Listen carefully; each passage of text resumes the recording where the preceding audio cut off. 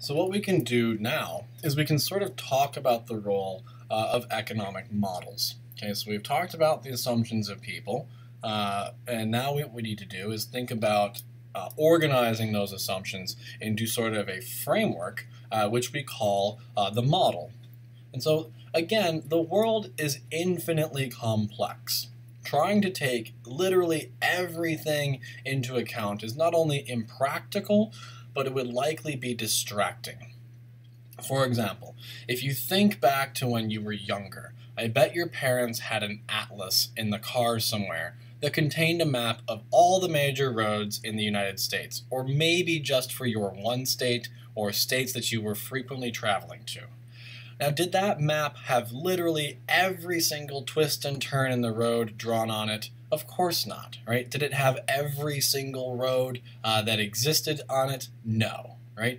If it did, it would have to be the size of the world, right? And it certainly wouldn't fit anywhere in your car. And so maps simplify the world so that, ironically, uh, we can better understand the world and get where we're going, right? The map gives us a sufficient amount of data or information to allow us to get from, say, Michigan all the way to Florida.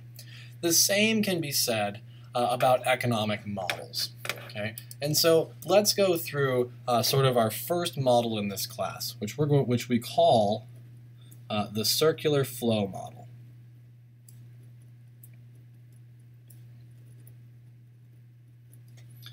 Okay, and this is a simplified version of the model. So we're doing a simplification of a simplification of the world.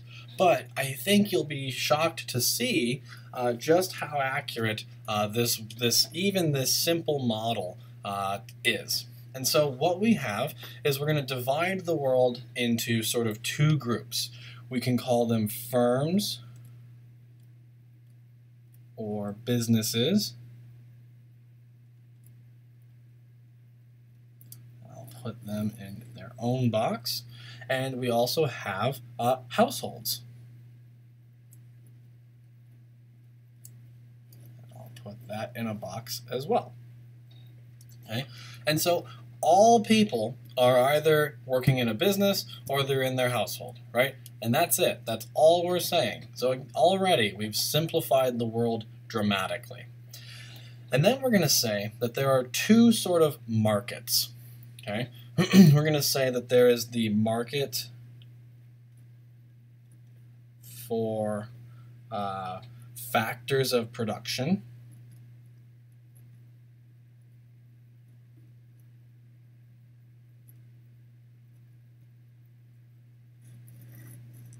I'll put in a box.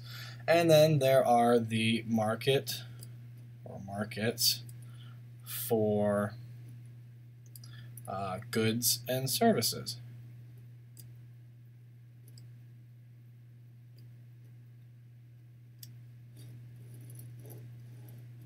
Okay.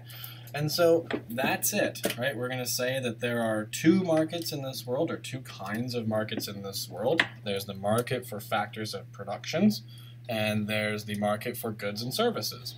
Okay? And what I should say or should point out uh, is that a market is sort of like a hypothetical place where buying and selling takes place. Okay, so here we have a hypothetical place where goods and services are bought and sold. And here we have a hypothetical place uh, where factors of production are bought and sold. Okay, and so I will use uh, the black pen to be uh, the flow of goods and services, or rather, of, of dollar. Let's do this. We'll do inputs and outputs. And I'll use uh, the red pen to be uh, dollars. Okay, so we're going to simplify the world and assume that everyone uses dollars and that everyone is either a worker or a in their home. Okay, and so uh, what we've got is our two markets and two sectors of the economy. Okay, so uh, obviously uh, households will send money to the market for goods and services, right? And we just call this spending. Okay, and in return, the market for they buy uh, goods and services.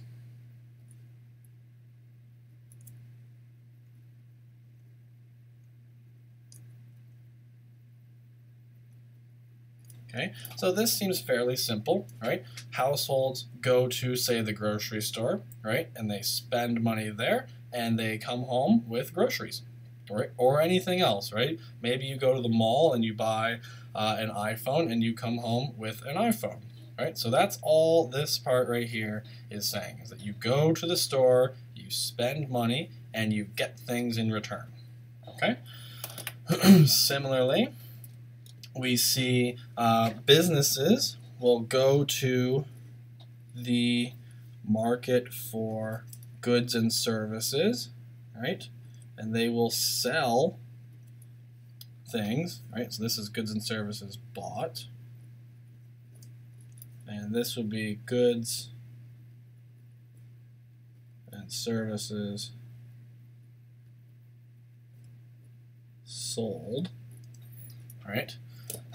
and they receive dollars in exchange, right? So they get uh, what we could call revenue, right? So again, right, businesses sell goods and services and they get money, right?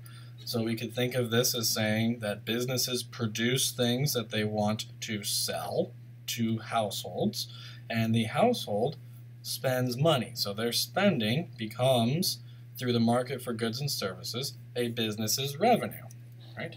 And so again, right, this should seem uh, fairly intuitive, right? Households spend money, they get products in return. Firms sell goods and services or products, and they receive revenue in return, right?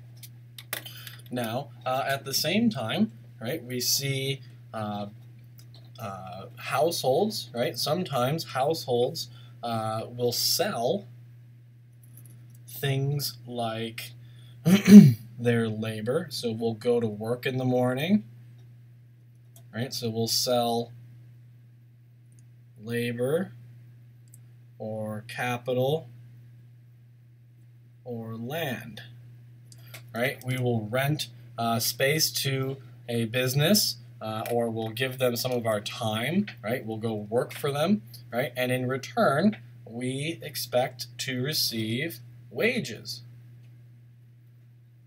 right? So this could be uh, income in a more broad sense, right? So income is paid uh, from the the market for factors of production to households, right? So you go to work in the morning and you receive income right? Or maybe uh, you rent a lawnmower to a local lawn mowing company and you receive rent payments, or you rent out a building and you receive rent payments, right? Either way, right? You basically you go to work and you get money, right? Nothing, uh, nothing too egregious here. You go to work in the morning and you get money at the end of the week, right?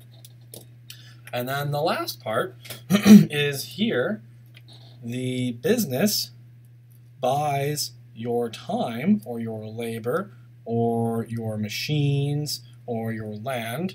we just call these things uh, factors of production.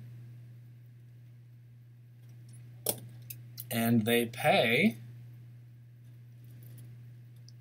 uh, put some arrows on here. they will pay wages, uh, rent, or profit. Right? And so if you look at this, we have a circular flow of money and goods, right? So money starts off in the households, let's say, people buy goods and services, right? That turns into revenue for the business, which they then spend on their employees to buy uh, production, and the employees receive income that goes back into the household. At the same time, right, we see uh, how workers produce a good, right, by going through here, which is then sold and purchased by households. And so the crazy thing here, right, is that even though we've grossly oversimplified things, we've said uh, the whole world can be drawn basically using four boxes and two lines, right, uh, going in opposite directions. It's fairly accurate, right? It seems to describe a lot of the world uh, in which we live. So if you think about uh, when you go down, uh, when you go to Starbucks, right? You are a household, you spend money, and you get coffee, right? But the Starbucks takes that money as revenue, which they use or they receive because they provided you with the coffee. And then they take that money and they buy wages and or they buy labor from the barista, from the truck driver, from basically everyone involved in making a cup of coffee. and they receive the labor. And at the end of the day, the barista or whoever uh, works at Starbucks takes that money home as income uh, and in exchange gives up their labor. And so, even though this is a very uh, simple model of the world, it seems to be fairly accurate. Just like your atlas in the back of your car, right? Is it a perfect representation of the world? No, of course not, right? This is missing a few things. For one, there are other countries over here. Uh, there might be, you know, government at the center somewhere organizing all this activity.